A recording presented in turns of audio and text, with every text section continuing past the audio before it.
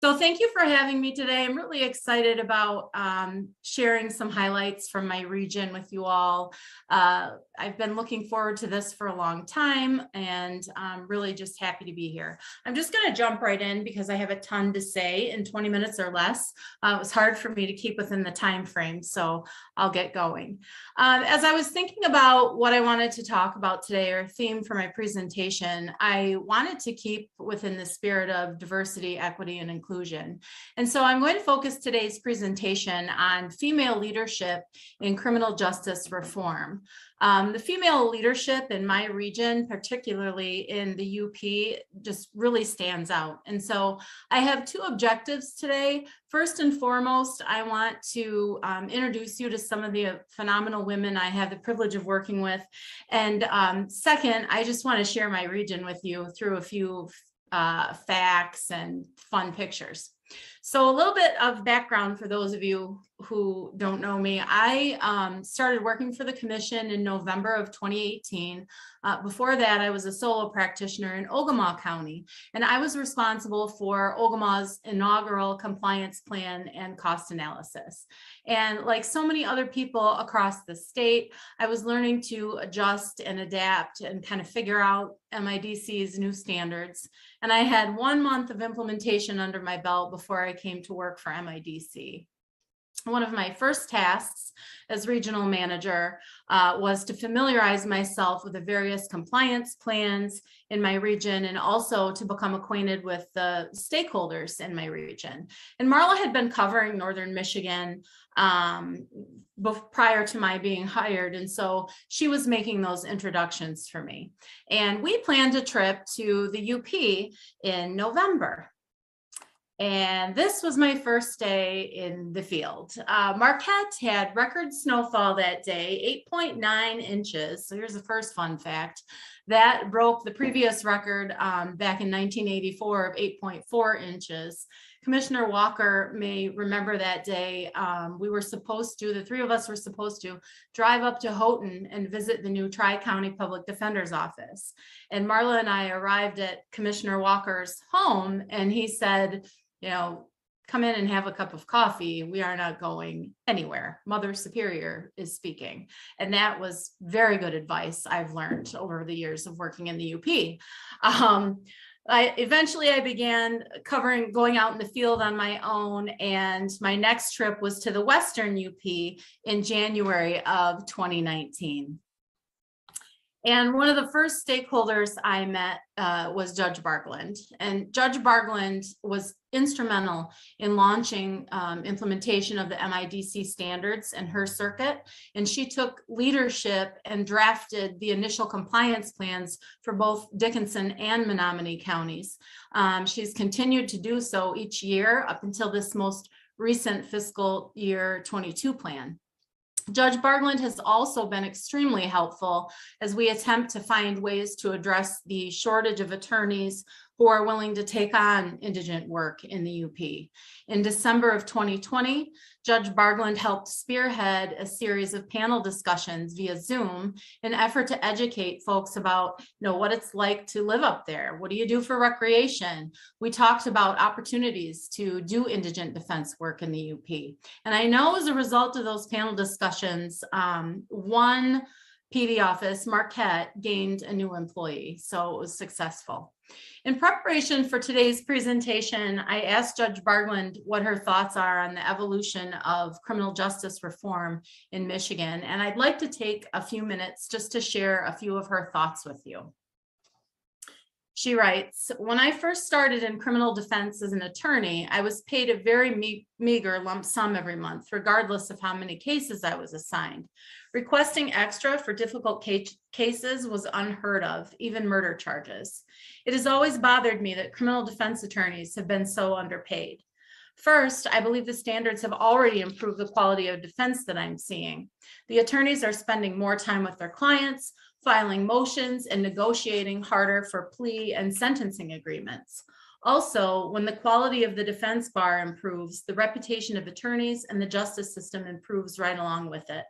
When you pay attorneys appropriately for the work they take on, they don't have to take on so many other tasks to make ends meet and thus have more time to put into each case they handle. It's a win-win. Second, I also believe having an attorney present right at the first appearance has improved the criminal justice system as well. The fear and confusion I would see on defendants' faces at the initial arraignment when they were unrepresented is significantly reduced. Third, the training requirement has had a significant impact on the quality of defense from what I'm seeing. The attorneys have reported to me how much they've learned and enjoyed many of the training sessions they attended. Residing in such a remote area as the Upper Peninsula, legal training was often a luxury that time and money just didn't permit. So I see this as a huge improvement to the overall quality of the indigent defense bar. I could go on and on with how happy I am that the state of Michigan has made these improvements and put their money where their mouth is to help us. I so appreciate the hard work that was done on the task force and committees and commission to finally bring this all to fruition. And here, just a fun picture. This is a shot of the Dickinson County Courthouse, which is one of my favorites. I think it looks like a castle. This is where Judge Barglind um, sits on the bench, one of the courts anyway. And this courthouse was built in um, 1896 and then renovated in 1935 to include sleeping quarters for the jurors. How's that for jury duty? Also from Dickinson County, um, Andrea Mashik Lasilla is uh, an attorney there. She opened her practice in Dickinson County in 2018. And Andrea was very intentional about focusing her work on indigent defense. Um, when the system decided to implement a managed assigned counsel delivery model in 2022, Andrea stepped up to um, create an innovative COMAC management delivery system. The goal being to share the MAC workload and allow the COMACs to continue to manage their caseloads at the current level of service. Andrea initiated new processes for counsel at first appearance and also put processes in place for making attorney assignments. And right up the road in Crystal Falls in Iron County is uh, Abby Anderson. She's the chief at Iron Defense. Um, and when I asked Abby for a picture, she sent me this one. And she said it was the only one she had that didn't have her husband or her kids or her dogs in it. And I think that's a great reflection of how so many women like Abby manage to uh, keep up with a really busy, stressful career and also balance that family life. When I started working for MIDC, Abby was a solo practitioner and she took on the majority of the felony cases in Iron County. And in 2020, the funding unit decided to um, implement a nonprofit public defender delivery model. The funding unit put Abby in charge of building that office and then subsequently hired her as the chief something that stands out about Abby, um, when the pandemic started, she was very quick to act and uh, to ensure that the rights of her clients were protected, but also to ensure uh, compliance with the MIDC standards. And one of the things she did um, was implement a tablet for use in the jail so that the system could remain compliant with standards two and four. And these are just a few quick shots of the Iron County Courthouse. It is absolutely beautiful. If you've never seen it in Crystal Falls, this is another old one. Um, the original courthouse was built in 1890 and the clock tower was added in 1910. And if you're lucky enough, like I was, to make friends with the custodian, he um, can unlock the door to let you up there so that you can get an amazing view. It's very cool. Um, this is Hannah Goodman. Hannah is, uh, she serves as the conflict attorney administrator for both Iron Defense and also for the Tri-County Public Defender's Office that covers Houghton, Baraga, and Keweenaw counties. So with implementation of Standard 5, Hannah is responsible for making case assignments from the conflict rosters, for reviewing and approving the um, conflict attorney's invoices, and also uh, reviewing the requests for experts and investigative services. She manages two rosters as well as a full-time law practice. So she's a very busy, busy gal.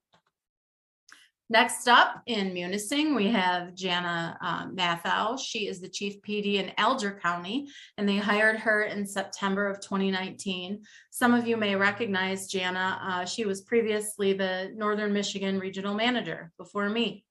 Um, I first met her in trial college, and I have always known Jana to be a very zealous advocate for her clients. She has had several recent successes, trial successes, um, despite the pandemic. And just south, here's a fun fact, just south um, of Alger County is the Eben Ice Caves. And this is a really cool, uh, not as well-known UP uh, site to see, but um, it's just south of Munising. Like I said, it's located in the Hiawatha National Forest. If you um, decide to go, I highly recommend you put ice cleats on your boots. It's about a mile hike back to the forest. And you actually have to hike across private land, but the landowner lets you park there. They've got porta pots, a little trailer set up with hot chocolate and ice cave swag. So you can get a sweatshirt or a t-shirt when you're done. And they don't charge for that. This is Catherine Denholm. Um, Catherine is in Manistique, Michigan. When Schoolcraft County transitioned to a managed assigned counsel delivery model, they contracted with Catherine to be the primary provider of services and also the MAC. So one of the biggest improvements um, in Schoolcraft County that Catherine identified is a decrease in incarcerations. And this is partially due to implementation of counsel at first appearance, where she can advocate for PR and reduced bonds um, early on in the case. Uh, a young woman by the name of Harley Lacrosse was admitted to the bar in June of 2021. And Harley is from Schoolcraft County. And so she returned there to practice after she passed the bar. Um, so the majority of misdemeanor cases to kind of break her in are assigned to Harley. So with Catherine taking the majority of cases, both felony and misdemeanors, and Harley picking up the misdemeanor conflicts, Schoolcraft essentially has an all-female bar. And a little north of the courthouse in Manistique um, is one of my favorite UP attractions. This is the Big Spring, otherwise known as Kitchitikipi. The Big Spring is about 200 feet across, 40 feet deep, and over 10,000 gallons of water gush from the fissures that are at the bottom of that pool you see there. And if you've never been there, you get on that raft and pull yourself across via cable back and forth and the center of it is cut out and you can see straight down to the bottom. It is crystal clear, beautiful. It's one of the most beautiful places in our state as far as I'm concerned. And there are huge trout there, bigger than I've ever seen in the lower peninsula anyway. Next up, introducing Dakota Fountain. And uh, Dakota is the Deputy Chief Public Defender, and um, Lauren Califf, the Assistant Public Defender from the Marquette County Public Defender's Office. The Marquette County PD Office was established in 2019 with the launch of the first set of MIDC standards. And Patrick Crowley is currently serving as the chief. Patrick raves about how valuable these two young women are to the PD office, particularly with regard to sentencing advocacy in, in district court. As a team, they have altered the way they prepare their clients for sentencing, and they've had several very successful outcomes, especially in OWI cases. we'll, we'll move down, shift to the lower peninsula for a minute and talk about the Wexford Missaukee Public Defender's Office. This regional PD office is located in Cadillac and the office got a new chief um, in January of 2021. He's pictured there in the pink shirt with the tie. Um, that's Bob Champion. And Bob went right to work assessing the needs of the office and quickly realized uh, they had outgrown their space and so um, found a new space right away. They've moved. And he also recognized the need for a social worker. And by way of a budget adjustment, he hired Shauna Shelton in the spring of 2021. And Shauna is the first MIDC funded social worker in Northern Michigan. And Shauna didn't waste any time either. She is a ball of energy. Uh, she went right to work on behalf of the PD office clients. She has helped several clients secure placements in rehab facilities. She's connected incarcerated clients with services while they're in jail. And she's had particular success with sentencing memoranda and convincing judges um, to incorporate holistic terms of probation in lieu of incarceration. During my visit there last fall, uh, one of the judges pulled me aside and told me how valuable she felt Shauna's memoranda are and how much she appreciates the additional insight. So the final system I'd like to highlight is Delta County. And here you see Emily DeSalvo. Uh, she is the Delta County Administrator, and she wanted to share a few words with you today about improvements to indigent defense in Delta County since implementation of the MIDC standards. And the video is a bit soft, so if you're appearing remote, you want to make sure that your volume is up. Hi, my name is Emily DeSalvo. I am the county administrator here for Delta County, and I'd just like to go over some points um, Delta County system that we have that have really been effective thanks to the MIDC board and allowing us to have, in particular, uh, certain grant structure. Um, before MIDC was enacted, Delta County had been working off of a contracted attorney system. Uh, it, it, courts appointed the attorneys and to, to the defendants. Uh, it was really a hands-off approach from the courts. Uh, the representation that they were receiving was solely on the backs of the attorneys and any um, effort that they were putting into the case at that time. Um, attorneys weren't really giving them the attention and the care that they probably should have uh, to these these defendants in, in, in, these cases. Once MIDC came into play, all of that changes, changed. There was a lot more accountability. Uh, a lot more accountability was placed on these contracted attorneys, and the standard of representation slowly started to increase for them. Uh, after a year of acclimating ourselves to the MIDC standards, we found that one of our downfalls or weak areas was that connection between the communication of the inmate who was incarcerated and their contracted attorney. We then at that time requested the position of a corrections officer uh, to help facilitate that. It was a full-time position. Uh, we were awarded that and correction officer Liza Plurd did take that position.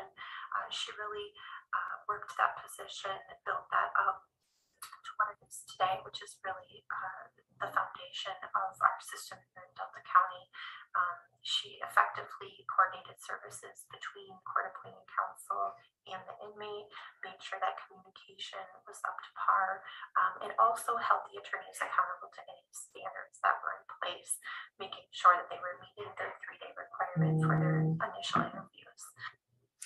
Um, Emily goes on to say that since Deputy Plurd's involvement, complaints from incarcerated clients have decreased and attorney accountability has increased. Um, this, whoops, wrong slide. This is Deputy Plurd. Um, she's just done an amazing job up there. I got to see her in action uh, when I visited Delta County last fall. And when she came on board, she went right to work. Um, there were problems, as Emily indicated, and some concerns with compliance. So um, Deputy Plurd uh, sent an introductory welcome letter to all of the attorneys and the courts that outlined all of her intentions um, to comply with MIDC standards and help ensure compliance. And she also created a log for attorneys to sign in at the jail to help track the standard two compliance, which was really an issue at the time. Most importantly, she created a communication request that uh, individuals who are lodged could send to her when they had difficulty communicating with their attorney. And Deputy Plurd made it very clear to them, please don't put the, the topic of discussion on the request. Just tell me, you know, that you've tried to talk to your attorney and you haven't had success, and I will connect uh, you with that person. Liza uh, meticulously follows up on those requests and she tracks the timeliness of the responses by the attorneys. And as a result, there's been a huge improvement there. Um, sad for us, but happy for Liza. Uh, she is retiring. She doesn't look old enough to retire, um, but she's retiring in April. Um, a few, well, last week, actually, I received an email from Judge Parks, who's the, he is the ninety-fourth District uh, Court Judge there in Escanaba. And he asked me to share, um, some thoughts with you about, uh, the work that these two women have done to improve the criminal justice system in Delta County. So go ahead, as you're finishing your lunch, I'm just gonna read his input.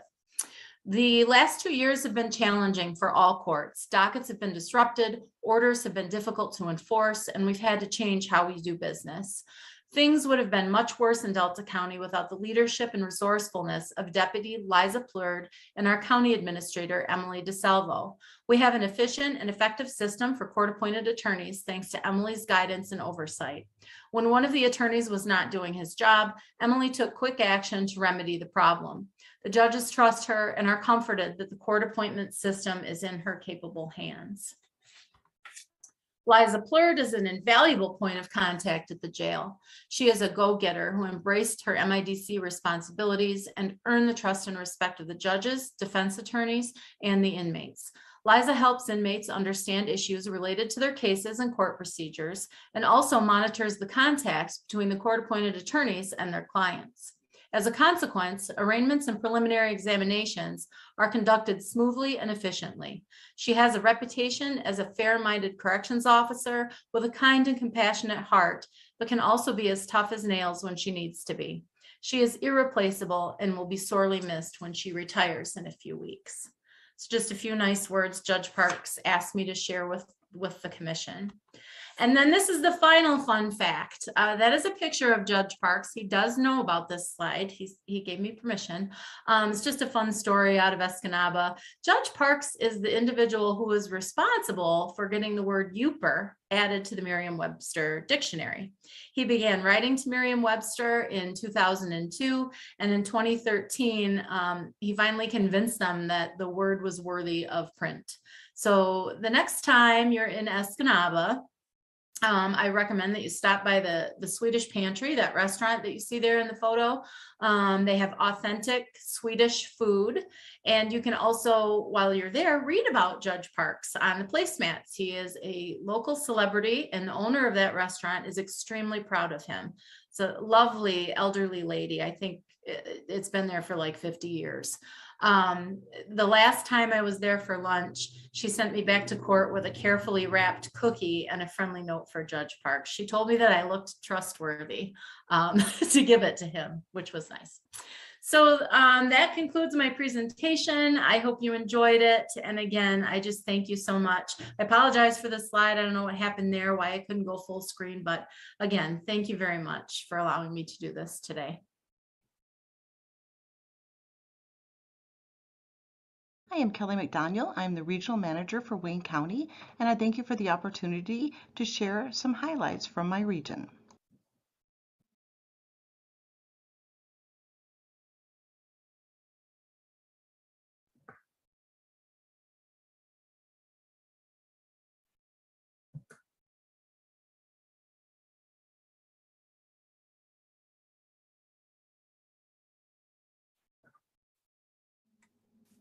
Sound, we, we Wayne County is the most populous county in the state of Michigan. As of the 2020 census, it had just shy of 1.8 million people, and it is the 19th most populated county in the United States. The Wayne County court system is comprised of 25 courts, serving over 40 cities and municipalities, hearing over 300,000 cases a year before 90 judges, and with over 500 indigent defense attorneys on its rosters. The 25 courts in Wayne County consist of Third Circuit Court, the largest and busiest circuit court in the state, 36th District Court, the largest and busiest district court in the state, 19 other district courts, and four municipal courts. The county started an indigent defense office two years ago, and last year that office became an independent department within Wayne County. It is now known as the Indigent Defense Services Department, or IDSD. It is being managed by Robin Dillard, the director. Within that department, there's an Experts and Investigators program that started as a pilot project. It is an excellent resource for experts, investigators, and it is used by systems and attorneys throughout the state. Every year, we're seeing an increase in the use of investigators and experts due to this program. Coming in fiscal year 23 are a couple exciting programs that were in the works right now. One is the possibility of a social worker program for the assigned counsel, and two is the possibility of a second chair program for the attorneys on the assigned counsel list. As you are aware, fiscal year 23 plans and cost analysis are due April 26th. In the district and municipal courts, I've already had 21 planning meetings. We have 20 plans that are coordinated with the regional office and four plans that are not within the regional plan. For Wayne County, we have had seven planning meetings and have another one scheduled for tomorrow. We have worked through most, if not all, of the fiscal year 22 concerns, and I'm very happy to report that the process has been both cooperative and informative. Part of the planning process involves reviewing ancillary spending requests to ensure that they are both reasonable and directly related to the MIDC standards. From fiscal year 19 to fiscal year 22, the request for ancillary spending has been reduced by 58% or $2.5 million, and I have seen over 70,000 hours eliminated. While there are many great things happening in the Wayne County region, I would like to spotlight three areas today. First is the Regional MAC Office for District Courts. Second is the NDS Training Department.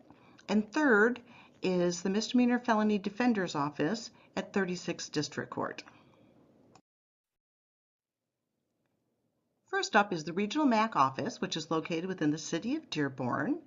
There are 20 district and municipal courts participating in this office.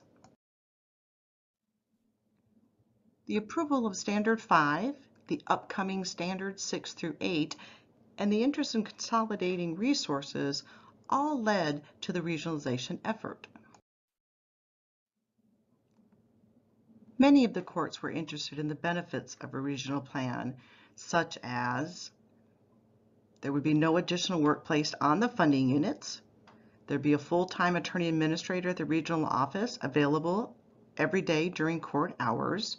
And there'd be resource consolidation, which would include maintaining attorney lists and on-call list, CLE requirements, and there'd be a checks and balance for attorney billings, caseloads, and CLE. The regional office assigns attorneys and approves invoices for all 20 courts. It manages the experts and investigator request and payments and has created a attorney database and manages CLE compliance. The MAC office hired its director, Teresa Patton, last October, and in just a few short months, the office is fully staffed, a website has been created, they are currently scheduling approximately 200 attorneys in 20 courts on a daily basis. They've created an attorney database. They review attorney invoices. That review has resulted in the identification of incorrect billing practices, and they have simplified the invoicing with the regional office invoice. Here's a picture of Teresa on the far left and her amazing staff. This office has by far exceeded everyone's expectations by creating an office, getting processes in place, getting processes implemented, and everyone so far has been absolutely thrilled with the progress made and look forward to the future with this office. Based on these amazing results, this is how I and most of the stakeholders they deal with on a day-to-day -day basis see Teresa and her staff. The second area I'd like to spotlight is the NDS training program, which is housed within the IDSD office in the county. The NDS training department is responsible for training all of the NDS staff and assigned counsel. The department manages all of the CAP seminars, provide additional brown bag trainings. They have a research attorney who identifies training topics, and they manage attorney CLEs. The NDS training director is Kristen Lavoy, who is an absolute pleasure to work with. While participating in a Zoom NAPD conference one day, I noticed that Kristen was also in the same seminar that I was in. The speaker of the seminar was amazing, and I immediately emailed Kristen and said, I love this guy. Any chance we could work on trying to get him to Wayne County to provide a training for the attorneys? She responded back, agreed. And within three months, that same presenter was presenting for the Wayne County attorneys during a training seminar hosted by Kristen. Just some of the NDS training highlights of 2021. There were 14 brown bag seminars, 11 CAP seminars. There was a three-day DNA seminar, an eight-day NACDL grant conference regarding the use of experts and investigators, part one of Gideon's Promise training, and 22 internal NDS trainings. In 2021, there were 4,277 hours of training attended, which was up 168.5 hours from 2020. The average CLE hours per attorney was 19.7, which was up 6.5% from the previous year. Every two weeks, Kristen puts out an amazing NDS training newsletter. This is directly emailed to her list as well as put on Facebook and the websites. It includes case law updates, upcoming Wayne County training, links to other trainings in the state, and practical application tips for the attorneys. And last but certainly not least, I would like to take a moment to discuss the amazing job that the Misdemeanor and Felony Defender's Office does in 36th District Court. The Misdemeanor and Felony Defenders have a contract to provide an attorney for all felony in custody arraignments, all misdemeanor in custody arraignments and cases, and they manage the attorneys for the weekend and holiday arraignment program. This small firm, managed by Joyce Reasonover, provided many examples for MIDC's best practices training last fall. An example of their innovative client-centered approach to representation include that they created YouTube videos for their clients to navigate the court's website to find information on their cases, and another YouTube video on how to enter and present yourself during Zoom court.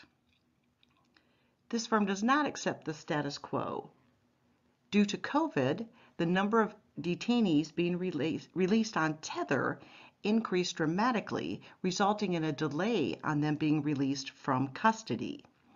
Joyce and her attorneys requested of the judges that their clients be able to be released and report back for the tether, or they made arrangements with private tether companies so that their clients could leave custody as soon as possible.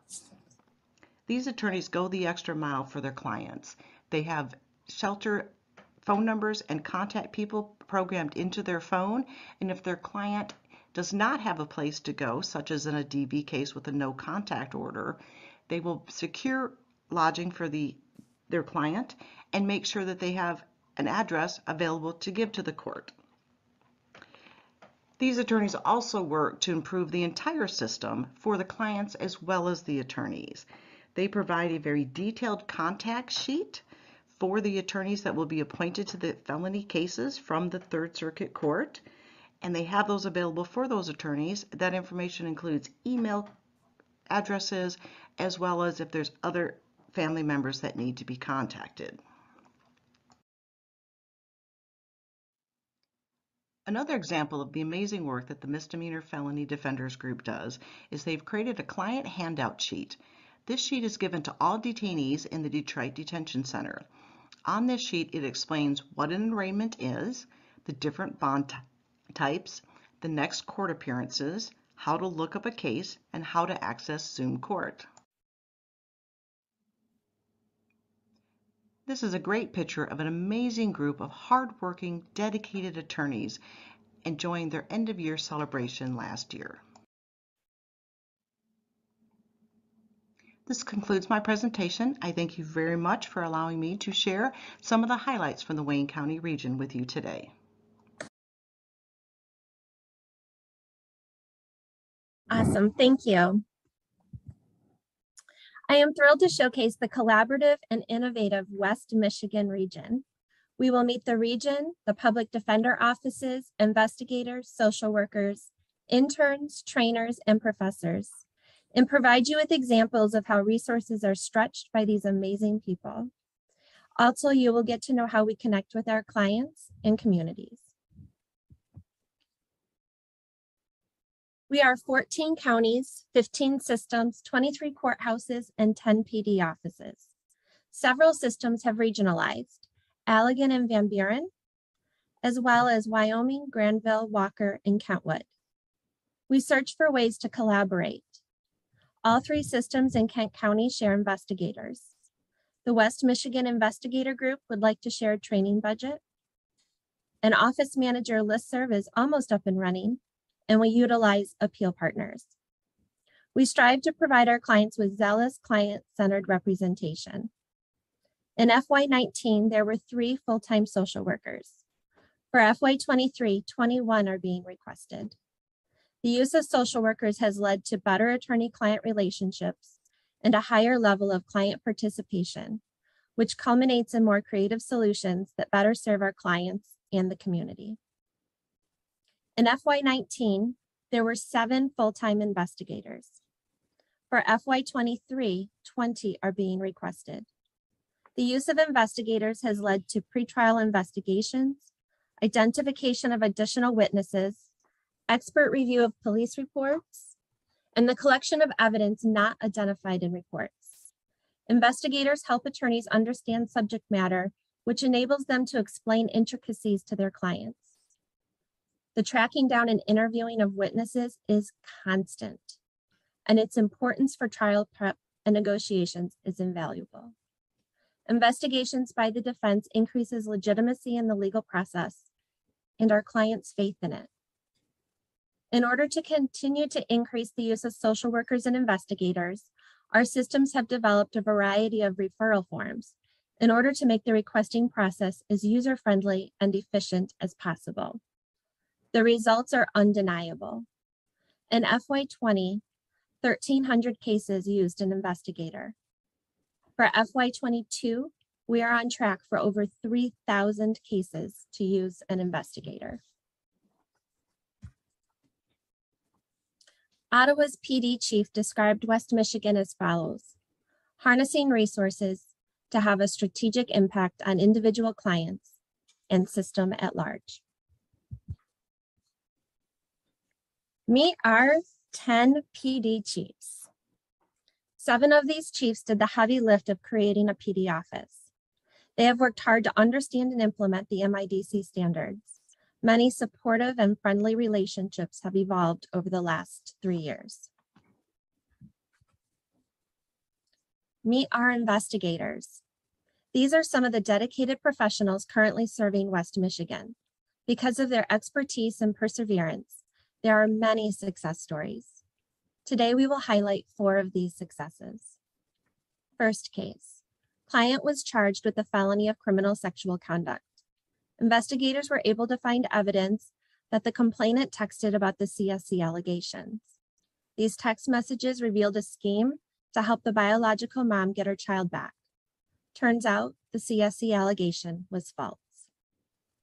Second case, client was charged with the misdemeanor domestic violence. Prosecutor had the 911 call for this alleged DV incident. The defender's office investigator learned that the complainant had made other 911 calls alleging DV. In the end, over 50 911 calls were pulled. Allegations were recanted. Charges were dismissed.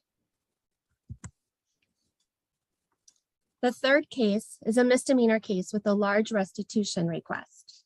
The victim fabricated many requests, including the purchase of an emotional support animal. She provided an email stating that she had purchased the dog for fifteen hundred dollars. Turned out the person who sent her the email was her friend, and this friend had made up the expense. The client was facing thousands of dollars in restitution. Ultimately, zero dollars were ordered. Without the investigator, the client would have been tied down for years trying to pay that restitution. And for the final success story that we will share today, this case involves countless hours of investigation, motions, and appeals. To make a long story short, the investigative team discovered the police raided the wrong house by discovering the address on the search warrant was incorrect. All felony charges were dismissed. Because of the investigators, this client was not separated from her children, family, or community. Approximately a year ago, the West Michigan Investigator Group was created. A listserv was made and Zoom meetings were held. These meetings are attended by chiefs, deputy chiefs, and investigators from all 10 PD offices. The last two meetings were at the Allegan PD office. This group has developed several goals. They wish to develop trainings. In FY23, they would like to hold four regional conferences and one statewide conference. They want to find ways to help level the playing field. For example, the definition of criminal justice worker does not extend to public defender investigators. Therefore, there are databases and trainings that our investigators are excluded from. Meet our social workers. Pictured are some of the compassionate social workers that serve West Michigan. They collaborate all of the time. They work with the court, PD office staff, defense attorneys, each other, and anyone who inquires. They are always eager to listen, brainstorm, and lend a helping hand. Prior to MIDC funding, Muskegon had a PD office. This office collaborated with Bronx Defenders and brought aboard a social work intern and created a thriving intern program. Through networking, Muskegon assists other offices looking to hire social workers. Pictured are a few of their interns turned full-time Defender Office social workers. We are very fortunate to have this training and hiring pipeline.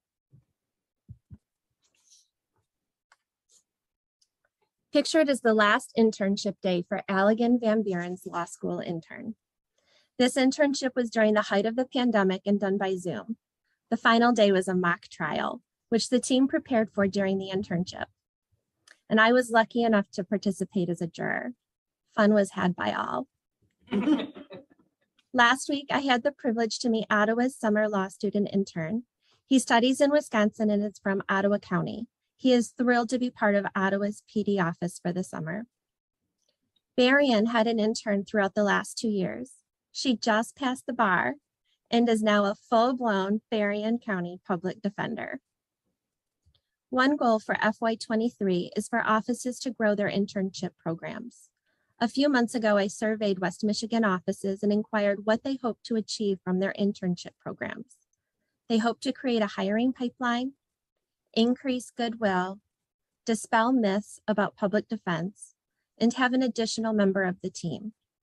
Additionally, they said these passionate interns bring an amazing vibe and enthusiasm to the office. Meet our trainers and professors. Jennifer Peck, Don Trail, and Denise Lane led, workshops at our 2022 MIDC Leadership Conference. Walter Downs, Larry Lewis, and Manda Meter teach classes at local colleges. Manda and Alyssa led a workshop at the conference for the Michigan Association for Treatment Court Professionals.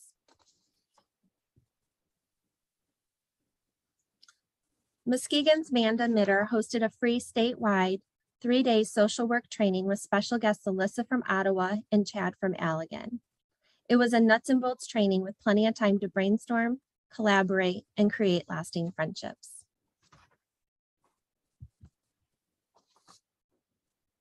Training never ends in West Michigan. Systems constantly look for opportunities and resources within its own system to provide trainings to increase their knowledge about important topics.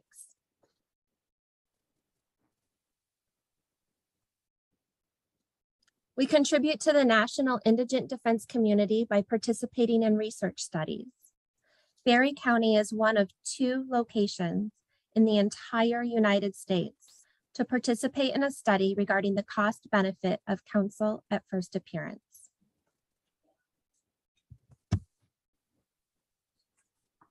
One of the ways we connect with our communities is through partnerships. Kalamazoo Defenders Village embraces holistic representation and includes various service partners. Several of these providers have on-site offices in order to make it easier for their clients to access their services. The village is funded with community grants.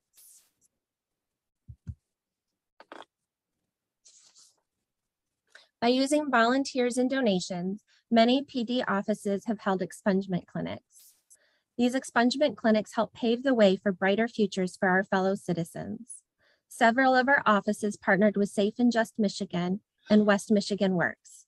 These clinics delivered a great service by helping people determine their eligibility to set aside convictions, complete the necessary petitions, notarize documents, and complete fingerprints in one convenient setting.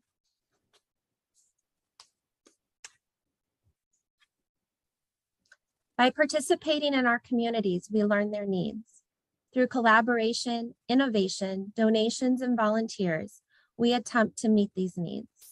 We provide public service announcements, hygiene products, and hold community meetings.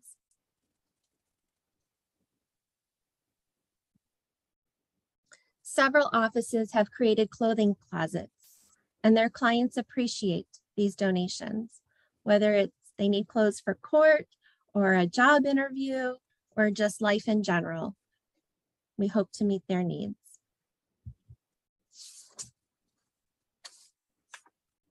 Through volunteer hours and donation dollars, Berrien and Calhoun have found meaningful ways to engage with the youth in their community.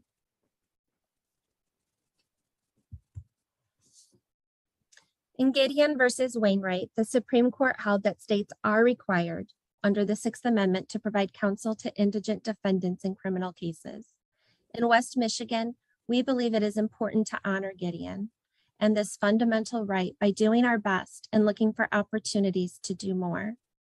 Over time, we will see the impact of the increased resources and intensity in our region in identifiable and measurable ways, such as reduced recidivism and incarceration. And to the MIDC Commission, thank you. We could not do this without you.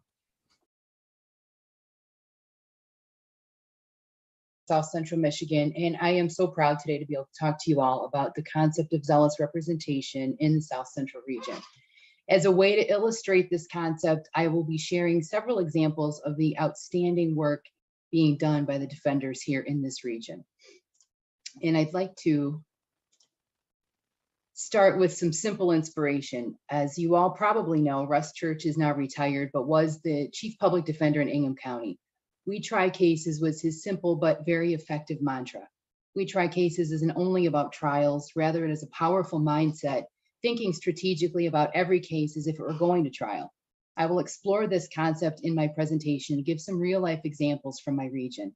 I want to focus on the actual work being done on a day-to-day basis by the talented individuals in these systems. So what does it mean to try cases? Well, we start with representation and arraignment. We move into analyzing discovery and the evidence in the case, holding preliminary exams when it is in the best interest of our client and our client's desire to do so. Um, motion practice, litigating motions and holding contested hearings, skillful negotiation of plea bargains, holding jury and bench trials, sentencing mitigation, utilizing experts, investigators, and social workers. And these resources, these individuals are incredibly powerful tools that we are able to use throughout the entire process. They're essentially woven into many different parts of this of this process of holding a case. And finally, probably most importantly, advising our clients, walking them through every step of the way. So meaningful representation begin, beginning at arraignment. Um, I'd like to focus on a couple systems, Clinton, Gratiot, and Shiawassee counties. Um, they they do what I kind of refer to as a waiver waiver of the formal arraignment process. So the arraignments in these counties Um, and waiver of arraignment just simply means waiving the formal arraignment proceeding, that first hearing. The defendants will arrive in person, they check in with the court clerk who refers them to defense counsel. The clients then have private consultations with the attorney. The attorney reviews the charges, advises of their rights, completes the intake paperwork. And unless they're charged with a felony or are charged with a case that requires bond conditions, clients are free to leave the court without appearing in front of the judge. This makes the process more informal, reduces the time clients must spend in court, reduces client anxiety, and it's just a more overall efficient process for our clients. the option to waive the formal arraignment proceeding was once a luxury, really, ma- that was enjoyed by those with retained counsel, but now it is available to many indigent clients. And I would note this practice is not unique to these systems, but I did want to highlight it as an example of meaning, meaningful representation at the outset of the case. So next, what, how else are we trying cases? Well, we're also analyzing discovery, which results in dismissals. Um, Livingston County, I have an example there. They had a client charged with domestic violence against his girlfriend. The gas station attendant called the police and said that the client had abused his girlfriend by picking her up and slamming her head into the door of the store. After watching the store video, defense counsel saw that the client picked up his girlfriend like he would a bride and walked her out of the store. The two of them were laughing and joking around. The defense showed this to the prosecutor and the case was dismissed. And in Eaton County, there was a client that was charged with leaving the scene of an accident. The defense used Facebook, a list of alibi witnesses, and review of the body cam video where the officer did not actually ask for the driver's ID to show the prosecutor that the driver whom the officer had pulled over had actually given the officers a fake name and the driver was the client's sister. Case dismissed. So holding preliminary exams, another area that we try cases. And this can result in bindovers being denied for lack of probable cause. So an example of this is Livingston County. They had a client that was a real estate agent and charged with larceny in a building for allegedly stealing items that were in a home they gained access to as an agent, then selling these items to a pawn shop. The investigator reviewed the evidence, compared the list of items alleged, alleged stolen and the list of items the client had sold to a pawn shop and noted that they were in fact not the same items. Based on this and some other factors, the court refused to bind the case over to circuit court, case dismissed. In Eaton County, they had a client charged with possession of meth. The police officers uh, that were involved saw a car parked at a 24 7 self storage unit and for some reason became suspicious and began checking all of the units until they came upon one that was unlocked. With their guns drawn, they entered the unit and discovered the client sleeping in the unit. Officers performed a search and discovered meth. A preliminary exam, the defense cross examined the officers to reveal they had no probable cause to enter the premises. The storage unit had been lawfully rented by the client. At the judge's request, the defense briefed the issue for a motion to dismiss, suppress, which was argued at a later hearing and granted by the judge. Case dismissed. We also try cases through motion practice and holding contested hearings, including motions to suppress, motions to dismiss. Um, Shiawassee had an example where they had a client charged with a hit and run vehicle accident. The client stated he was at work at the time of the accident. The investigator, investigator gathered alibi evidence, including time cards and statements from the client's boss and the office secretary as proof that he was at work. Defense filed a motion to dismiss and the prosecutor dismissed the case before the hearing. In Ingham County, with the help of their very talented paralegal team, the defense filed a motion to suppress in a CCW case, a concealed carry weapons case, based on Fourth Amendment grounds from an unlawful police search of client's vehicle. Rather than fighting this in court, the prosecutor dismissed the case. And we also try cases through contested hearings. So Ingham County had an example, um, a restitution hearing in a dog bite case. The victim had alleged extensive damages that were unrelated to the incident. During the hearing, the defense successfully contested these unrelated damages and ultimately stipulated to a reasonable amount of restitution, saving her client about $500 in damages. So we also try cases through utilizing our experts, our investigators, and our social workers, which can result in acquittals, dismissals, and favorable plea agreements. So Ingham County is a great example With the help of investigators and the DNA expert, the defense was able to get a not guilty verdict for his client at jury trial, who was charged with criminal sexual assault. The only evidence was that of DNA found on the complaining witness. Thanks to the office having funds available to hire an expert, the defense was able to explain the science of transfer DNA and show the jury that the DNA found on the complaining witness likely came from her sleeping on the guest mattress in the client's home and using shared blankets. Without the ability to hire such an expert, the client would likely have spent years in prison for a crime he was found not guilty of. In Shiawassee County, the, they had a client that was charged with fleeing and eluding and felonious assault. The investigator assisted the defense with reconstructing the crime scene, revealing an incomplete investigation by the police. Defense the defense used video, witness interviews, and bullet trajectory to show that the officer fired shots at the client without proper justification, and the client did not commit an assault against the officer. The felonious assault charge was dismissed, and the defense was able to get a very favorable deal on the fleeing and eluding charge. And we also try cases by skillful plea negotiations and sentencing mitigation, which sometimes results in probation and treatment alternatives or reducing incarceration. So Livingston, a very simple example, they had two young clients who were both charged with operating while intoxicated, second offense, which is a one-year misdemeanor. Defense counsel got both into drug court, and it appears they are still in the program and have remained sober. This prevented them from going to jail, and they both will have drug court licenses instead of losing their ability to drive. And in Eaton County, they had a client charged with criminal sexual conduct in the second degree involving a minor. The first or former attorney negotiated a 36 month sentence. Client then went uh, to the public defender office, and he also was referred to the public defender's social worker, who discovered extensive childhood abuse suffered by the client, in addition to some significant addiction issues. The defense was able to obtain a plea offer and sentence of 10 months jail, followed by probation, as a result of the social worker's report and the client's own involvement in recovery groups. And finally, we try cases with trials. And exercising the right to trial, we have results, we have acquittal results. I have a couple examples here. Ingham County had a client charged with child abuse. The defense attorney successfully argued to the jury that discipline is not abuse. The jury agreed and client was acquitted. Livingston County, they had a client charged with aggravated domestic violence and the jury acquitted.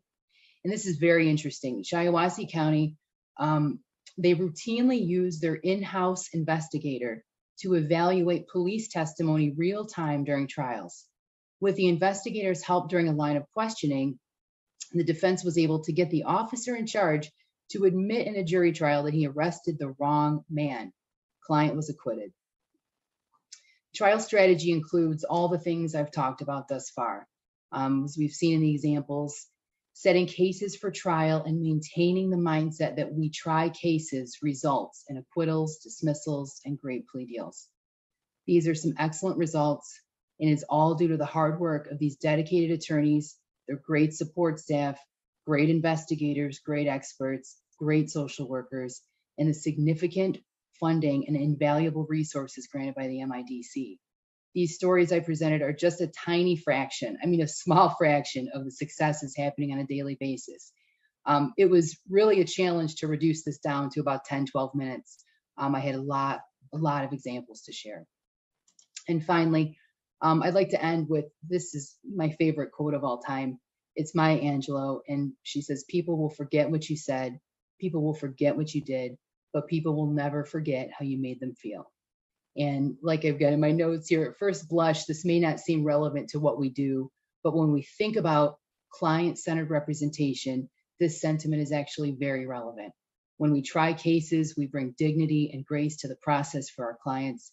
Our clients will certainly not remember all that we say and all that we do, but they will always remember how we made them feel during the process. The zealous representation is about advocating for our clients, informing, advising them along the way, acting in their best interest. All the while, we should also seek to maintain respectful relationships with judges, prosecutors, court staff, and other community stakeholders in the process. Zealous representation occurs both in court and out of court. We try cases every step of the way so that our clients have the best opportunity for justice and fairness. Thank you all very much for your time. Uh, hi, everybody. Most of you know me. A couple of you I haven't had a chance to meet yet. Um, I am Barb Klimaszewski, and I'm the regional manager for Mid Michigan. Go ahead, Susan. Um, next, next slide. There we go. This is my region. I call it the massive middle. Uh, it's 23 counties. It has a pretty big cross section of kinds of uh, jurisdictions and the kinds of systems that they use to meet our standards. The total funding for the region for FY22 is just close to $20 million, just under 20 million. Um, and it covers a whole wide variety of ways to go about doing our job. It also has a lot of, go ahead, Susan, next, next slide. A lot of uh, beautiful things. Uh, it goes from lake to lake. On the left is the lake in Ludington. On the right is Tawas. And so I get to see the Great Lakes when I travel around my region. Next slide. This is Baldwin, Michigan, where we have the beautiful trout sculpture. This is a rainbow trout. Uh, there's not a lot in Baldwin except a trout sculpture and a courthouse. There's a few other things, but not much. Uh, so it's uh, that that's an example of an interesting diverse community because it's racially diverse, but also very rural and also the poorest county in the state of Michigan, Lake County. Next slide, Susan. We also have the dueling Paul Bunyans in my region. On the left is Paul Bunyan in Oscoda County. On the right is Paul Bunyan in uh. And Ossineke, Paul Bunyan has the advantage of having Babe the blue ox, so I vote for the Ossineke Paul Bunyan. Um, but I've got two Paul Bunyans, so you can't can't deny that I'm lucky in that regard. Next slide. This is how my county my counties break down in terms of how they meet our systems. We have um, a multi-county part-time managed assigned counsel system in uh, a pretty big percentage. We have a single county part-time managed assigned counsel system. We have full-time county employee managed assigned counsel. In uh, although that's a small number, uh, it is it is a pretty effective system for those that use it. I have a regional managed assigned counsel system uh, in the biggest chunk of my counties. I have county, uh, by that county I mean county department public defender offices. I have those in Isabella and in Bay. And then I have vendor, nonprofit vendor public defender offices uh, in Alpena, Montmorency, and in Saginaw. This just goes to speak to that local control issue that uh, Commissioner Shea spoke about. Each county really has designed something that suits them. Um, and they've really had to stretch in a lot of ways to make anything work because their systems tend to be small and many of these counties have no county administration at all which is a struggle in terms of a lot of our functions uh, particularly when it comes to reporting and budget management next slide this is an example of one of the Midland, uh, this of one of the full-time employee managed assigned counsel systems. Uh, it's Midland, and we have this in Midland. We have it in Tuscola. We have it in Sanilac. That person in each of those counties has the primary uh, responsibility for counsel at first appearance, also for assigning all attorneys, reviewing all the bills, uh, and the Midland uh, MAC prepared uh, uh, this information showing what he feels they've accomplished by setting it up. This is, the, this is the first year that they have functioned in this way. They previously had a non-employee managed assigned counsel system. They appear to be pretty pleased with having made this change, uh, and they feel like they've really accomplished our standards a lot more effectively by doing it this way. Next slide. Uh, he does uh, district court arraignments averaging 115 a month, circuit court arraignments 25 a month, violation of probations 10 a month, um, and it, he often has to have like coverage from another attorney on the panel in order to be able to accomplish these arraignments because they're operating in a couple of courts at the same time.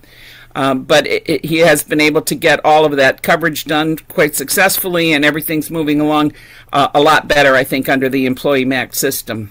Next slide. Uh, this is the Midland County Courthouse. The MAC states he's trying to work on getting people to use um, the private investigators more, but he's pretty proud that they have begun to use experts more, and in particular that sometimes the retained counsel is uh, coming on behalf of an indigent defendant whose families have retained them to ha- to get help with expert witnesses, and that's been a big accomplishment for uh, Midland, and it's making that system work more smoothly as well. Next slide.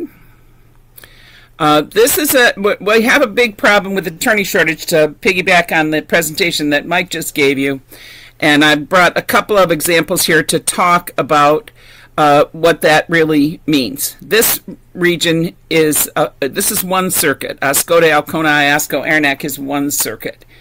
And uh, to go back to that discussion about the use of Zoom, the circuit court judge that sits in these uh, recently had a conversation with me, and he was complaining because he really hates Zoom. And he hates it in particular when there are out of town attorneys because he just feels like the whole thing doesn't work very well.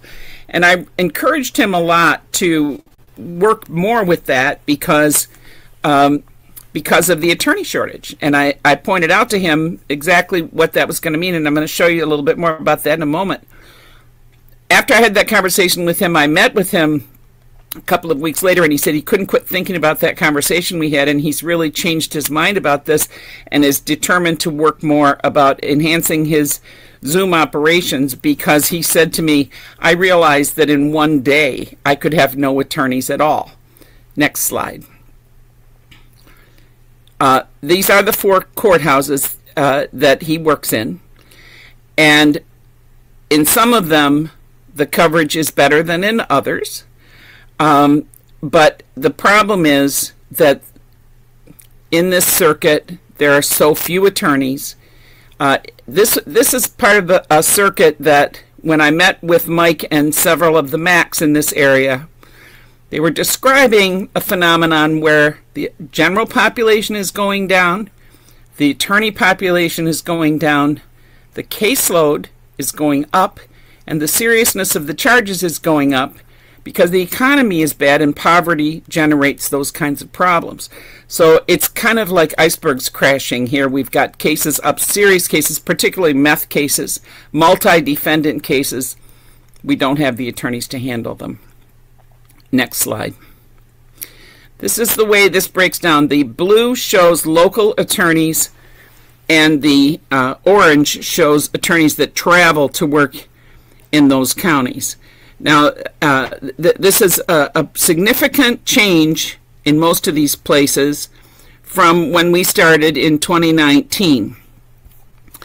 Um, the the uh, the breakdown is that it like Iosco has five attorneys. When we started in 2019, it was the same number, but only two of those are now local attorneys, and three travel from other counties and one of those only does it on special assignment, not on a normal rotation. Arenac County has three attorneys active. When we started in 2019, they had seven active attorneys, and um, all but two were local. And now we, they have three attorneys active. Only one is local. Uh, and at any time, those ones that are not local could just decide that this is too much driving for them because it's a lot of driving. And the third one is thinking about running for public office that would disqualify him. He's the only local attorney remaining in Arenac County, and he's thinking about leaving the panel because he's going to run for an office that would disqualify him from taking cases. So Arenac County is one of the counties that this judge covers, and he, after we had this conversation, he really got to thinking about how important it was that he change his mind about the Zoom thing, and he has done so. But it just sort of underscores the critical shortages that we're really looking at. Alcona has three active attorneys. They had six active attorneys in 19, uh, and only uh, two of those attorneys are local, and they have no capital qualified attorneys in Alcona County. The only one that comes in um, is from Alpena County. uh, and he's he covers any capital cases that occur in that county. Uh, recently, there's been a two defendant capital case there, and we had to bring in another out of town attorney in order to cover that. Uh, and that's going to be a pretty expensive process to do that, but there's really no other option available there. Uh, Oscoda has three active attorneys. They had four in 2019, but only one of those three attorneys now is local, and um, two of them uh, are talking about retirement.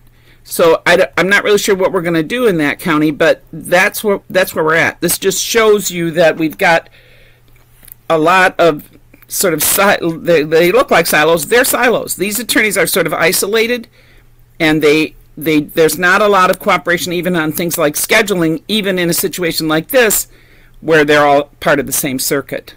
Next slide. This is a bit of a contrast, uh, it, although it also demonstrates the attorney shortage situation. This is the eight county region um, that it was really the pioneering regionalization project in my region. And these eight counties independently all hired the same manager, that being Karen Moore, and she has done a really good job of demonstrating how regionalization really can make this situation less of a burden than it was. Uh, these uh, only two of these counties operate under one contract. That's Clare and Gladwin. Other than that, each of these counties individually contracts with Karen and with her firm. She has a firm that operates the managed assigned counsel system in all eight of these counties. So she handles all the attorneys in all eight counties in terms of their billing, in terms of their qualifications, in terms of their use of experts and investigators, and in terms of assignment of cases. She's also pioneered a second chair program to try to raise the qualifications of some of these attorneys that have less experience or less capital experience. And the result of that is that even though her attorney numbers have dropped, uh, she's done a more effective job of obtaining coverage for those attorneys. Um, next slide, please. Um, what we have here is these are the these are the eight counties that um, are involved in her program, and she um, has been able to, with fewer attorneys, get an improvement in being able to get the coverage on a on a sort of more immediate basis. Uh, next slide, please. Uh, th this shows you the traveling attorneys again in brown, the local attorneys in blue. There are there there's been some reduction in the local attorneys in these eight counties, but not quite as drastic as in the four county circuit. Um, but she's able to get these traveling attorneys uh, in amongst all the eight counties, even though they're not in the same circuit. I mean, they're they're paired up in circuits, but they're not all in the same circuit. But she's able to get people from within this eight county group, and also some of them come in from as far away as Grand Rapids and Muskegon, which is not within this eight county region, but they do come in. Some of them come in again to handle arraignments by Zoom. We have um, a lot of, of that kind of coverage in this region. We also have people that are capital qualified that come in from out of county. So she's able to get this coverage by just sort of thinking in a more regional way.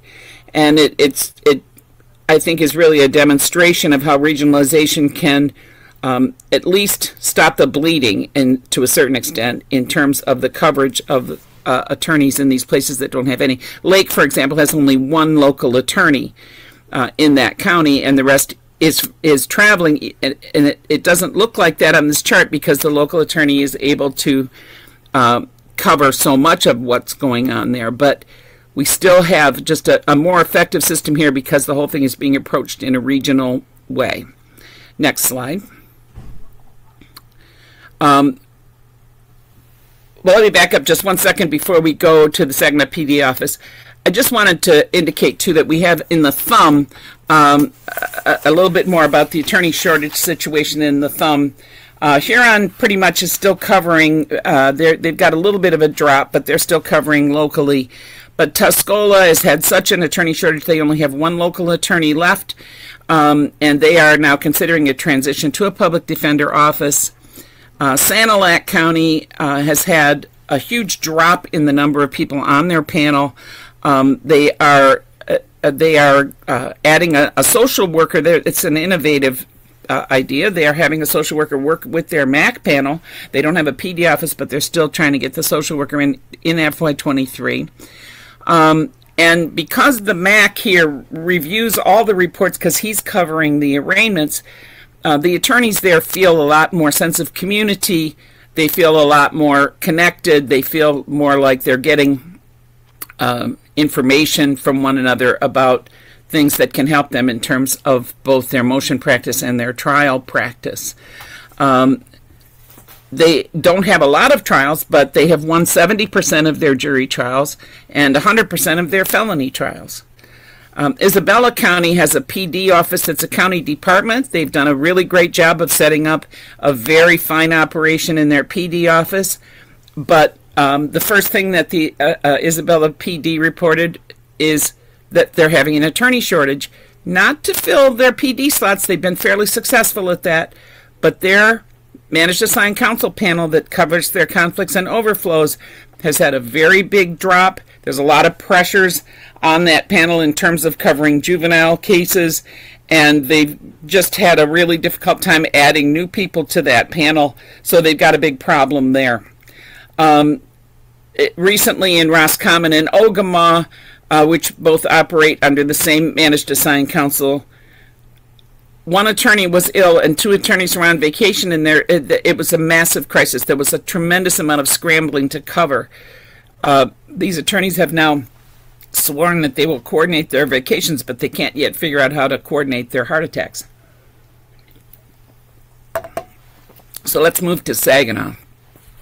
Saginaw is a system that is an urban primarily urban environment just came out this past couple of days with the new crime statistics. They're number one in Michigan in terms of uh, increase in crime rates. Now, that has something to do with charging policies, but nevertheless, that's what these folks are dealing with. Uh, you're going to see a little bit in terms of their grant that they're having also some transition issues with the court management uh, that has caused some difficulty in gathering statistics. But their PD office and their managed assigned counsel office work hand in hand, and each of them covers half of the cases. Uh, next slide. This is the this is the PD and MAC. We have first uh, Ebony Ellis. She's the managed assigned counsel person in Saginaw. Then we have Damon Tibbs, who's the deputy uh, chief of the PD office. Amy Med, who's the office manager, and Steve Fenner, who is the chief. Um, these folks operate the defense system in Saginaw. It's a huge task, and they've been doing an extremely good job. This is where I did much of my practice when I, I practiced. My office was in Saginaw for 37 years. So I got to tell you, this has been a big change to have people like this who are pioneering and really uh, willing to pitch in and handle uh, with tremendous skill uh, this transition to doing a different kind of approach to defense. Um, the, the PD office has won all their trials except one. Um, most of those trials are cases that in the past would have been pled. Uh, they have had, they're very proud of their diverse staff. They have very diverse staff in the PD office uh, that reflects the community. They have a social worker uh, who's especially helpful in dealing with the substance abuse cases and mental health cases in Saginaw. Um, and they have uh, hooked up with Saginaw Valley State University, so they have interns from the social work program there that also works with the staff. They're also hosting me today because they have a good, strong internet connection, and I don't. So I'm here at their office today. Um, they have um, some issues with retention of staff, like all the PD offices do. The PD offices all around the state are kind of going around poaching each other, and that's happening to Saginaw as well. Um, they have been educating their community about the role of the public defender office and getting a lot of positive reaction, but also this is a big change for uh, the community in Saginaw to just recognize the PD office as being a force here. They've pioneered uh, a lot of use of technology. They're encouraging more of that in the future. Um, and they are uh, moving to more holistic defense model uh, and they intend to continue moving in that direction further. And I think for a community like Saginaw, that's going to be a big help. Um, they so they are trying to increase their tech. They are trying to keep better track of their accomplishments so that they can continue to build their community ties, um, and they um, are trying to also think of some good ways and develop some good ways to take care of their staff so that they've got uh, a strong a strong staff that is less burned out. They're trying to figure out ways to reduce burnout, improve the mental health of their staff, and expand their social worker program.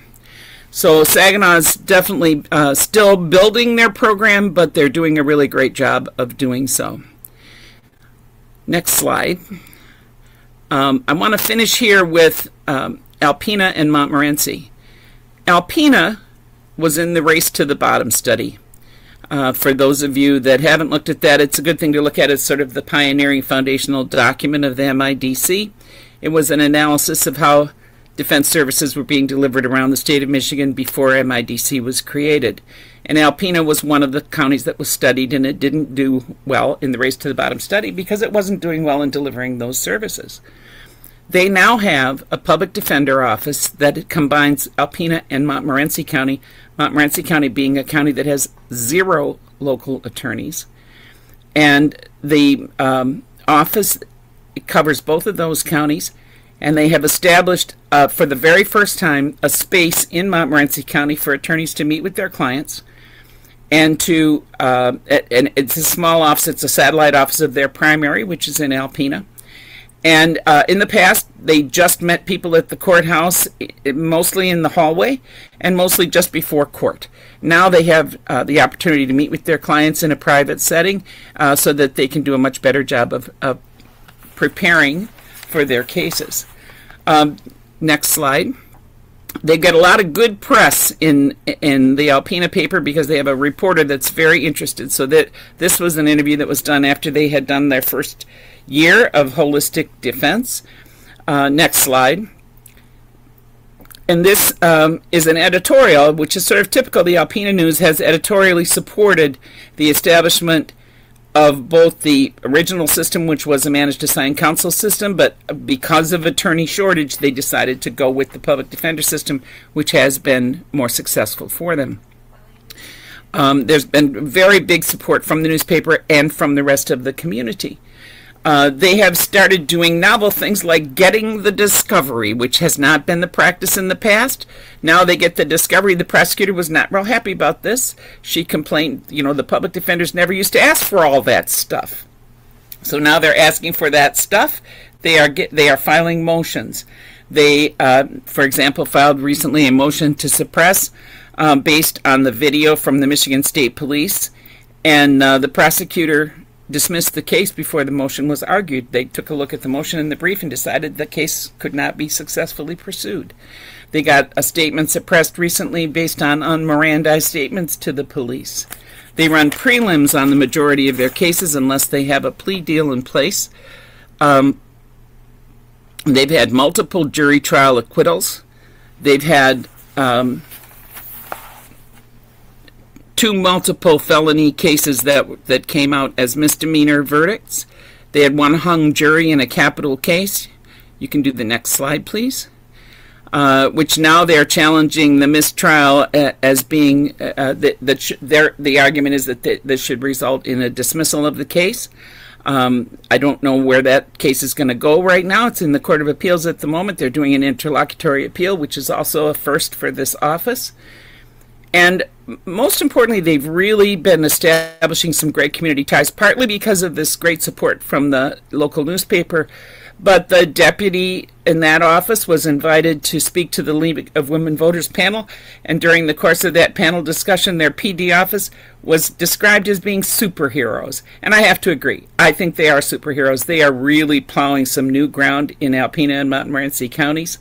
They've had um, the local reporter that's been writing these articles, she was actually moved uh, deeply when she saw an investigator get on the stand during this case that's referred to in this article because she had never seen an investigator testify on behalf of the defendant. She's been covering the courts for quite a few years. She had never seen that happen before, and it it was such a stunning event for her that she was really quite moved by the whole thing. Uh, they are now also working with community corrections to establish a pretrial supervision project um, so that their clients can get out on bond and be successfully supervised uh, rather than going uh, staying in jail eh, because the judge is concerned about what's going to happen to them um, in the in the pretrial period. So this is a what I consider a tremendous success story to go from race to the bottom to having this very dynamic uh, public defender office.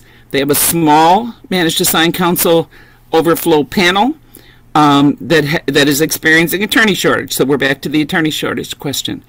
Um, so it and this year they've just hired in the last couple of weeks um, at the start of the fiscal year uh, a social worker. And since one of the main problems they have are drug cases and probably secondarily from that mental health situations, um, the social worker I think is going to be a big help in making this a more successful uh, attempt even than it has been in the past. So that's kind of a, a sampling of my region. Um, I'll be happy to take any questions if anybody has any. Um, it's a it's a wide ranging region, and um, we've had pretty much a little bit of everything.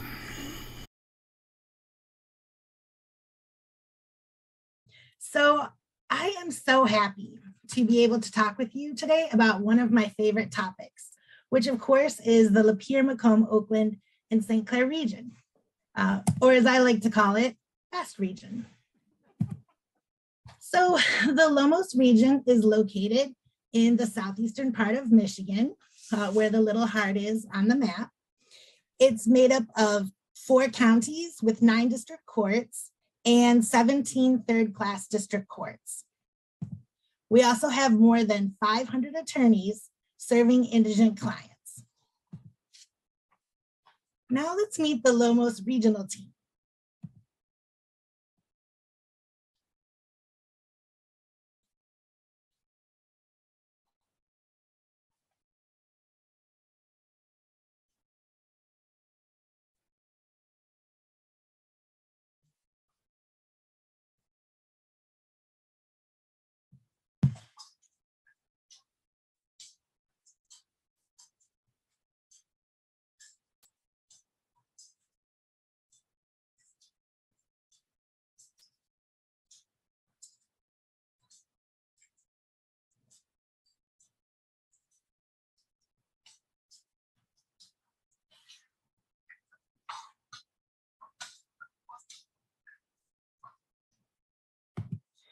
So that's just a little quick snapshot of who we are and where we are.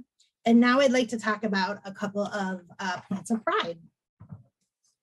First, we have no cap on CLE. Um, as was mentioned a little bit before, uh, Oakland County contracts with the Oakland County Bar Association on behalf of itself and the third class district courts in its jurisdiction. Any attorney on an Oakland County list is able to take as many credits as the Oakland County Bar Association offers. Um, Macomb County contracts with the Criminal Defense Attorneys of Michigan on its behalf, on behalf of the attorneys uh, in the third class district courts in the county, as well as the attorneys in Lapeer and St. Clair County. Um, I think there was a comment earlier that the counties require their attorneys to just take CLE from their providers. And I think that might have been true very early in the MIDC program, but, but it is not true today. And um, a- attorneys are able to, to take CLE outside of their uh, provider, but the funding units are not able to pay for that CLE if there is a charge. Um, and I should also say that uh, the attorneys under the Macomb plan are able to take any CDM course that they want, except for trial college. Basically, another thing that we're trying to accomplish with without having caps on CLE is creating a culture of education.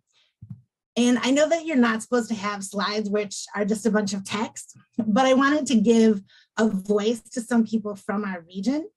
And um, so I will go ahead and, and read a couple of these of these slides that, that appear like this. This quote is from uh, MAC, Tanya Grillo, who manages the um, assigned counsel systems in the Eastpointe and Southfield area. Uh, Tanya says, By allowing attorneys to have unlimited CLE opportunities, we encourage them as to learn as much as they possibly can to benefit their clients. Classes tend to encourage an open dialogue to help attorneys learn techniques and skill sets that are relevant to their everyday practices. It's not just about learning about ballistics or blood spatter or autopsies. It's about the things that matter the most to our clients, especially in district court. Similarly, Macomb County Chief Public Defender Tom Tomko says, providing an unlimited number of CLE hours allows attorneys to sharpen their skills as, as needs arise. From evidence boot camp to sentencing issues to keeping up with DNA testing techniques, unlimited CLE hours and recorded trainings help free attorneys from both time constraints and financial constraints as they look to improve their skills and better represent clients. So what does unlimited CLE really look like? Well, I got a report in November from the Oakland County Bar Association about, you know, where attorneys were in completing their requirements. Um, 51 attorneys on this report had completed more than 12 hours of CLE. An additional nine attorneys had completed at least 20 hours of CLE. An additional two attorneys had completed at least 30 hours of CLE. And one attorney named Tina Saxon had completed 49.75 hours of CLE. So I called Tina and I said, Tina, why did you take so much CLE? And looking at her transcript, it looks like she took 45 hours of the Byrne JAG training.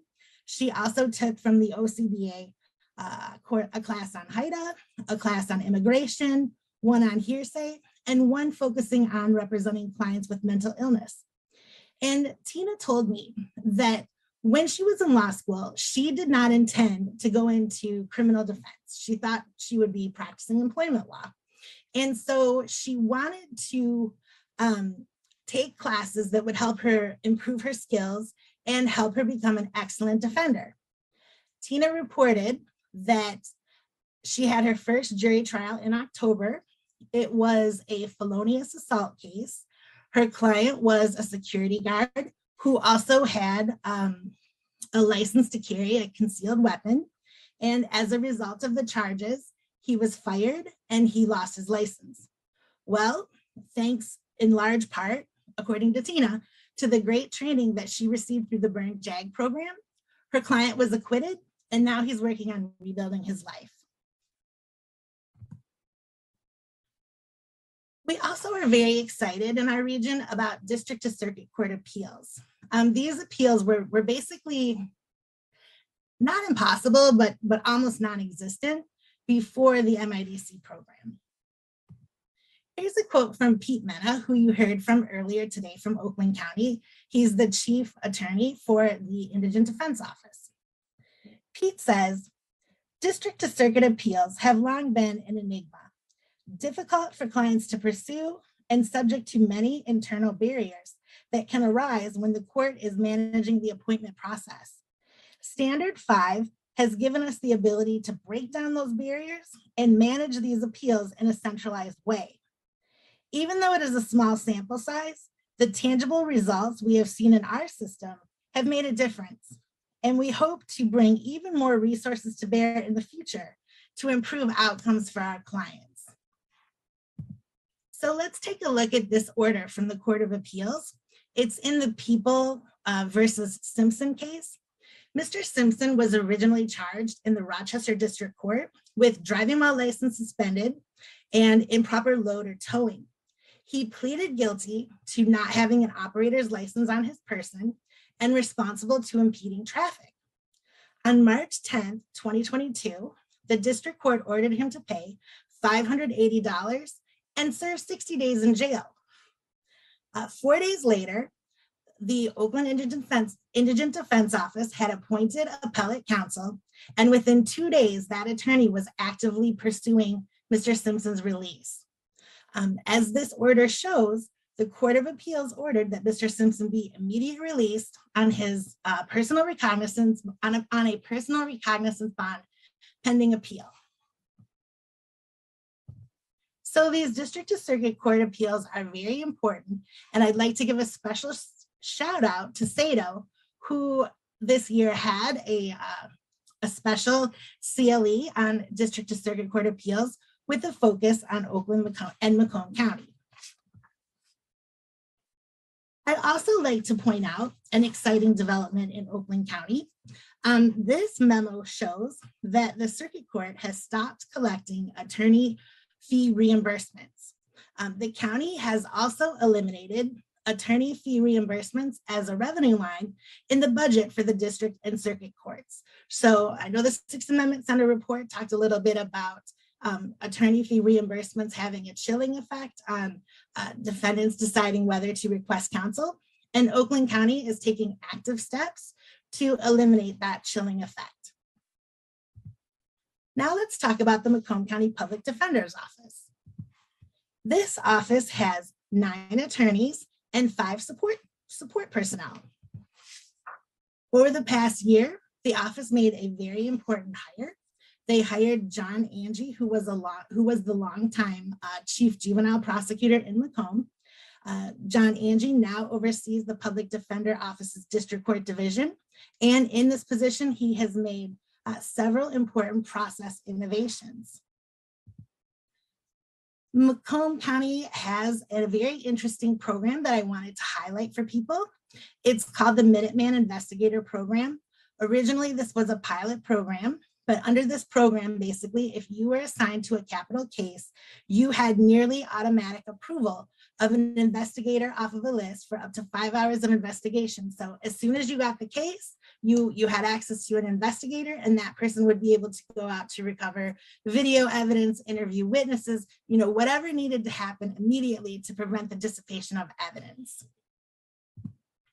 Macomb also has a very nice second chair program where they offer the opportunity for attorneys who wish to gain, um, I'll call it actual time trial skills to participate in their second chair program. Um, five attorneys have signed up for the program and Macomb also makes this program available to attorneys in uh, Lapeer County. This is a picture of some of the uh, people from the Public Defender's Office. Uh, Macomb does a lot of team building. And this is a picture of a few of the staff members uh, participating in a charity challenge for the Macomb County Bar Association. And this picture looks very weird, but I think what they're doing is they're blindfolded and they're trying to put marshmallows in a bowl on their head. Not necessarily practical, but again, it's fun and it builds camaraderie. Now let's talk about the Public Defender Office in St. Clair County. This Public Defender Office has 15 attorneys and they have eight support personnel. This is the leadership team. This is uh, going from left to right. Mike Boucher, the Chief Public Defender, Sandy Shankin, the Compliance Supervisor, and Frederick Lep Lepley, the, the Chief Deputy. This is Attorney Justin Gonzalez. Justin is the head of the office's Veteran Specialty Representation Team. He's also a veteran, him, veteran himself.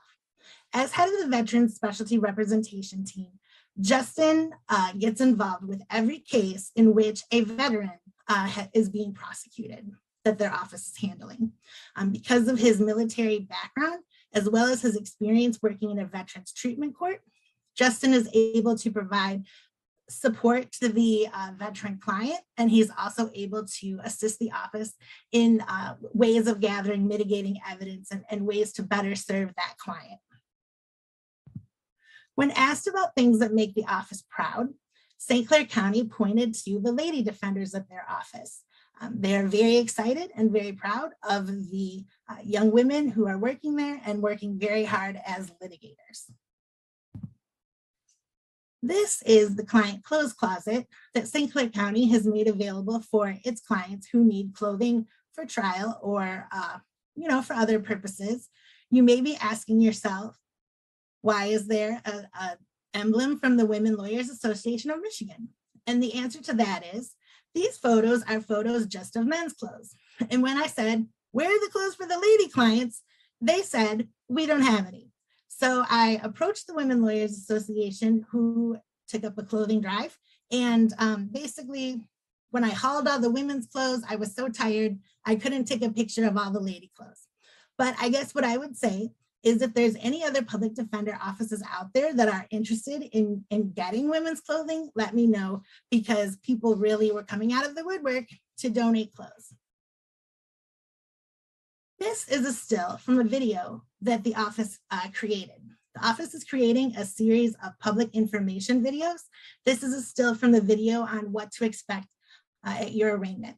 And what you're really looking at is the attorney meeting the fictional client for the first time and talking about, here's what's gonna happen and here's the type of information uh, that I need for you.